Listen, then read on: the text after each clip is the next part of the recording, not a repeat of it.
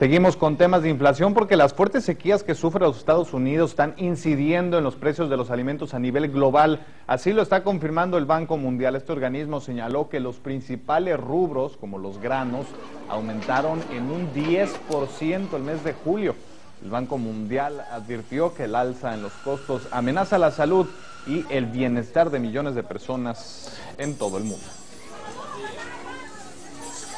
Dice el Banco Mundial que el maíz aumentó 25% y la soya 19% en sus precios. Vamos a otros temas.